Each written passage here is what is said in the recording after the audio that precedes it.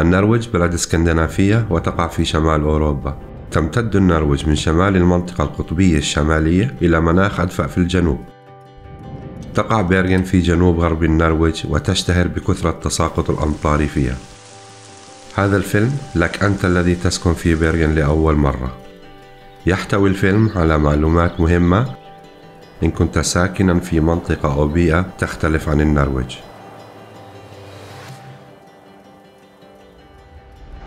في بلدية بيرغن نحن الجهة المسؤولة عن إبرام عقد الأجار الخاص بك. اسمنا وكالة إدارة السكن ABF مرحبا بكم في بيرغن. من الشائع في النرويج العيش في منزل مستقل أو في شقة في منزل أو في بيوت ملتصقة أو في شقة في عمارة. بغض النظر عن نوع المنزل أو الشقة التي تعيش فيها فهناك بعض الأشياء المهمة التي يجب عليك معرفتها حول البقاء في أمان وصحة جيدة. بشكل عام يمكن للمرء القول أن ذلك له علاقة كبيرة بالتكيف مع المناخ في بيرغن وأن يكون المرء في مأمن من المخاطر المتعلقة بشبكات الماء والكهرباء والنار. المواضيع الرئيسية لهذا الفيلم هي الحرارة والتهوية التأمين النفايات الماء الأمان الآفات التلفزيون والإنترنت.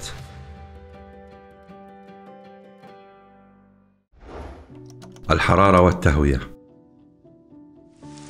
في النرويج نحتاج لمنازل جيدة ودافئة للعيش فيها ونحن بحاجة أن يكون المناخ في الداخل عكس المناخ في الخارج. يتم إنشاء المناخ الداخلي والمحافظة عليه بواسطة شيئين الحرارة والتهوية. نولد الحرارة باستخدام مصادر الحرارة مثل المدافئ. تحدث التهوية عن طريق تدفق الهواء المستمر في المنزل. يحدث ذلك عن طريق فتحات التهوية في الحائط وعندما نفتح النوافذ فبذلك يتم نقل الهواء الرطب خارج الغرف. لكي يتدفق الهواء خلف الأثاث فيجب سحبه قليلا عن الحائط. من الممكن أن تصاب الغرف الباردة والمكتومة بالرطوبة والفطريات. نرى ذلك كبقع سوداء ورواسب على الجدران. إن لاحظتم هذه الأشياء فيجب عليكم إبلاغ ABF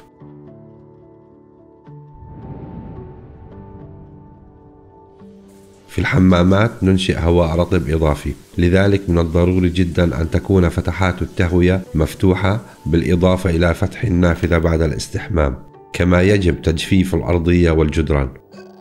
في المطبخ يؤدي طهي الطعام إلى الرائحة وبخار الماء. لهذا السبب من المهم استخدام مفرغة الهواء. فيجب دائما تشغيل هذه المروحة الكهربائية بكامل طاقتها أثناء الطهي. يوجد في مفرغة الهواء فلتر يقوم بجمع الدهون والأوساخ. من الضروري غسل الفلتر مرة واحدة شهريا لأن الشحوم القديمة التي تتجمع هنا قد تسبب في خطر نشوء حريق. يجب عدم تجفيف الملابس داخل الشقة لأن ذلك ينتج عنه الهواء الرطب بكثرة. حيثما أمكن يجب تجفيف الملابس في الغرف المشتركة أو في الهواء الطلق في المساحات المشتركة. يعد الهواء الجيد والمناخ الداخلي من الأمور المهمة لصحتك وصحة أسرتك. التهوية والتدفئة هم أهم المتطلبات للنجاح في تحقيق ذلك. التأمين.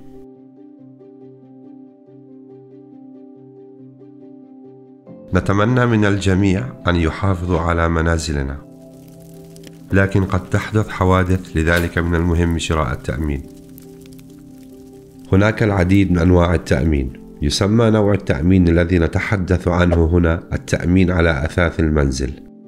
يغطي هذا التأمين جميع الأشياء الموجودة في الشقة مثل الأثاث التلفزيون والملابس أدوات المطبخ وكافة الأشياء التي نملكها. إن كان لديك تأمين على المنزل ووجب عليك مغادرته بسبب الحريق أو أي حادثة أخرى فستحصل على مساعدة لكي تسكن في منزل جديد وستحصل على تعويض عن الممتلكات المفقودة. بدون التأمين على أثاث المنزل لن تحصل على مثل هذه المساعدة، لذلك من المهم جدا أن يكون لديك هذا التأمين.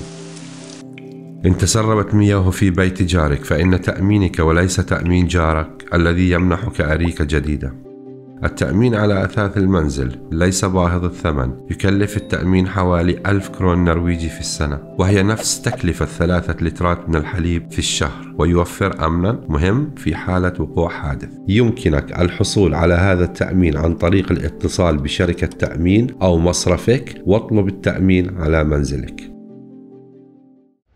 النفايات يتم جمع نفاياتنا كل أسبوع للتخلص منها ولكن قبل أن يحدث هذا يجب أن نكون قد تعاملنا مع النفايات بشكل صحيح. هناك براميل نفايات تابعة للمنازل التي نعيش فيها. عادة يكون لكل منزل برميل نفايات خاص به والبعض لديهم براميل للكراتين والورق. يجب أن تبقى هذه البراميل مغلقة لكي لا تجذب الحيوانات إليها.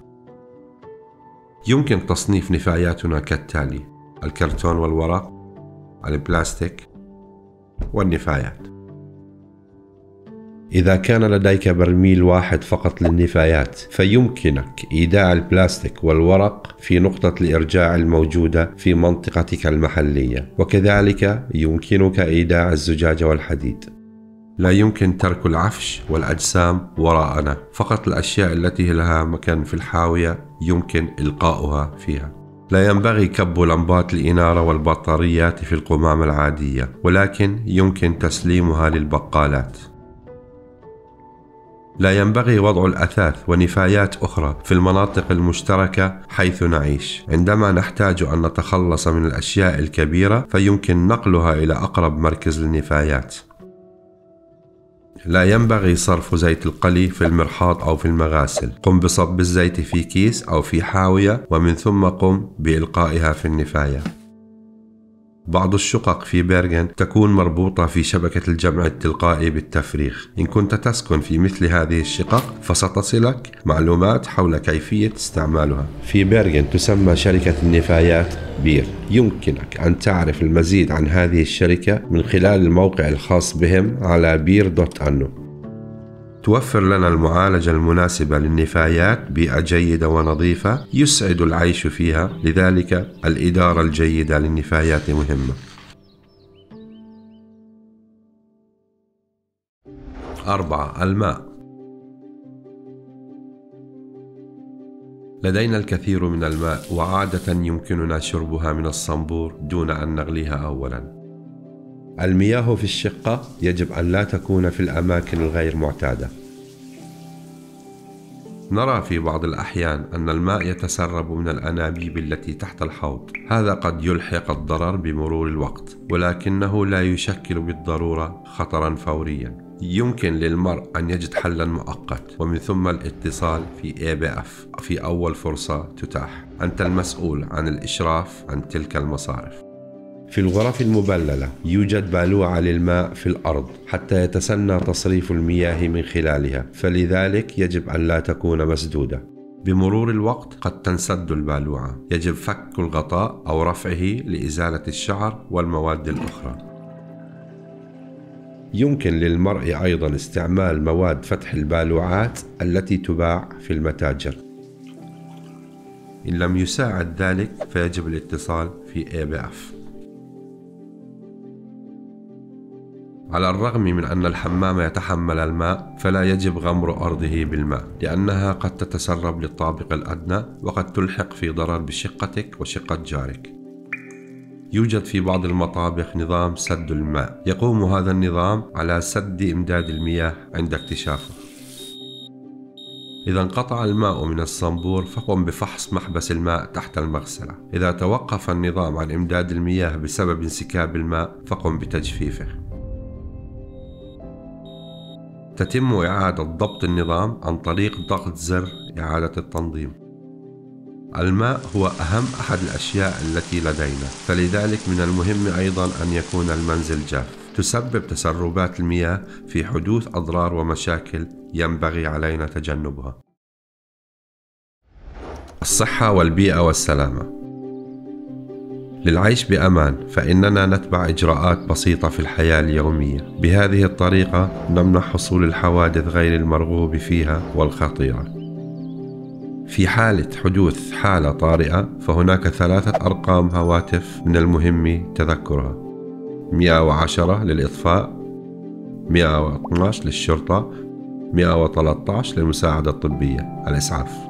الحفاظ على المساحات المشتركة مرتبة ومنظمة ليس أمرا لطيفا فحسب بل أن ذلك مهم لضمان بقاء طرق الهروب مفتوحة. الأثاث والخردة التي تحتل مكانا يمكن أن تكون مزعجة للمرء في الأحوال العادية ومن الممكن أن تكون خطيرة بشكل مباشر في حالة حدوث حريق. يجب إبقاء المخارج مرتبة وخالية من الأشياء في حالة نشوب حريق كما يجب أن تظل البوابات الرئيسية مقفلة خاصة في الليل. النار هي من بين الأخطار التي نمنع حدوثها دائما. إذا ما هو أهم شيء نفعله في هذا المضمار؟ يجب أن يكون هناك على الأقل كاشفان للدخان في الشقة ويجب أن تثبت هذه الكاشفات على السقف.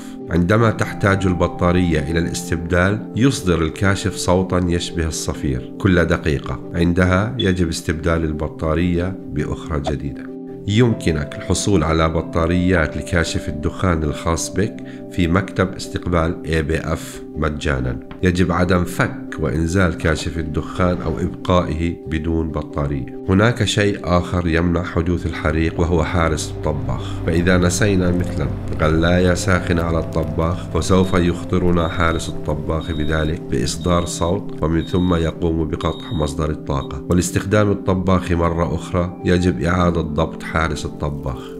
تحدث حرائق منزلية كثيرة جدا بالقرب من الطباخ والقلي يسبب الاشتعال بشكل خاص عند ارتفاع درجة الحرارة. إذا حدث حريق في الزيت المغلي فلا تستخدم الماء أو مطفأة الحريق. أطفئ النار بوضع غطاء على الغلاية أو إناء القلي. يجب أن تحتوي جميع المنازل أو الشقق على طفاية حريق واحدة على الأقل. تذكر أنه يجب فحص ضغط طفاية الحريق بانتظام وقلب الجهاز كل ستة أشهر. يجب عدم تم تغطية المواقد الكهربائية والطباخ بواسطة الستائر أو الملابس أو أي شيء آخر. هذا يمكن أن يسبب الحريق. يتم التحكم في النظام الكهربائي في الشقة بواسطة صندوق الفيوزات المصاهر. يجب أن نعرف مكان وجود صندوق الفيوزات. إذا فقدت الطاقة الكهربائية فيجب التحقق أولا مما إذا كانت القواطع في صندوق الفيوزات قد فصلت يمكن أن يحدث هذا إذا قمنا بسحب الكثير من الطاقة الكهربائية من الشبكة أو إذا كان هناك جهاز معطوب في البيت. اسحب سلك التوصيل لآخر جهاز استخدمته من المقبس وارفع لسان القاطع للأعلى مرة أخرى. إذا استمرت المشكلة فيجب عليك الاتصال ب ABF العديد من الشقق لدينا مزودة بنظام المرشات في حالة نشوب حريق. يتم تنشيط هذه المرشات فتطلق كميات كبيرة من الماء. يجب عدم لمس المرشات أو استخدامها لتعليق الأشياء عليها. لا يحتاج المرء للخوف من أن يتم إطلاق المرشات بواسطة أجهزة الإنذار بالحريق. فهذه يتم تشغيلها فقط عند حصول درجات حرارة عالية. العديد من المباني مزودة بنظام إنذار حريق مركزي وإذا أطلق جهاز الإنذار في شقة من الشقق فسيتم إطلاقه في كل الشقق الأخرى. لكن قبل أن يتم إخطار المبنى بأكمله لديك دقيقتان لإيقاف تشغيل جهاز الإنذار إذا كان قد أطلق خطأ. عادة ما يتم العثور على زر إعادة الضبط بالقرب من مدخل البناية الرئيسي. إذا تم تنبيه قسم الإطفاء من خلال إنذار كاذب فيجب على المرء الاتصال بإدارة الإطفاء وإشعارها. يجب استخدام رقم الطوارئ فقط في حالات الطوارئ. يمكن أن تشكل الطاقة الكهربائية والحرارة المرتفعة خطرا ولكن عبر الاستخدام الصحيح واتخاذ تدابير السلامة المناسبة يكون المرء في مأمن من الخطر. الآفات هناك أنواع مختلفة من الآفات والحيوانات الضارة التي يمكن أن تسبب لنا مشاكل. الجرذان والصراصير والنمل والعث هي آفات لا نريدها في المنزل وفي حالة حصول مشاكل الآفات فاتصل في ABF بق الفراش هو حشرة طفيلية وهو موجود داخل المنازل في جميع أنحاء العالم. إنه يعض الناس والعيش معه مزعج للغاية رغم عدم خطورته. بق الفراش أصبح أكثر شيوعا في النرويج في السنوات الأخيرة ويعزى ذلك جزئيا إلى أننا نسافر أكثر. عندما نعيش في خارج البلاد ينبغي أن نفحص السرير والأريكة والمناطق المحيطة بحثا عن البراز والبيض. ينبغي على المرء دائما إبقاء الحقائب مغلقة ووضعها في مكان عال ليس على الأرض مباشرة أو تحت السرير. ينبغي للمرء تجنب العيش في الأماكن التي توجد بها علامات تدل على وجود بق الفراش. إذا شك المرء في أنه عاش في مكان ما مع بق الفراش أو الصراصير فيجب فتح الأمتعة خارج المنزل. يجب أن يتم نفض المحتويات وغسلها في درجة حرارة عالية تبلغ 60 درجة مئوية. يجب أيضا معالجة حقائب السفر بالحرارة أو البرودة. ينتشر بق الفراش بسهولة إلى الشقق المجاورة. لذلك من المهم منع ذلك ومعالجة الأغراض الموبوءة بالبق. إذا تمكن بق الفراش من الاستقرار في شقتك فيجب معالجتها من قبل المتخصصين. يجب أن لا نتخلص من بقايا الطعام برميها في الخارج، فهذا يجذب الفئران والطيور الكبيرة. مشاكل الآفات هي شيء يمكن أن يعاني منه الجميع ولا يعني ذلك بالضرورة أن المرء قد ارتكب خطأ ومع ذلك من المهم أن تكون لديك معرفة بكيفية الوقاية من هذه الآفات التلفزيون والإنترنت. يمكن للسكان في شقق ABF ربط الشقة بخدمات التلفزيون والإنترنت. من أجل استخدام التلفزيون والإنترنت يجب عليك طلب الاشتراك لدى أحد الموردين بنفسك. التكلفة يغطيها المستأجر نفسه. يختار المرء نفسه ما إذا كان يريد الاشتراك في خدمة التلفزيون أو الإنترنت فقط أو في كليهما. تثبيت لاقطات الأقمار الصناعية غير مسموح في منازل ABF يوفر مورد خدمات التلفزيون والإنترنت تعليمات التوصيل ويمكن الاتصال به إذا كان لديك أسئلة أو مشاكل. عندما تنتقل إلى أحد شققنا يبدأ اشتراك الكهرباء بالسريان وتكلفة الكهرباء تغطيها بنفسك كمستأجر.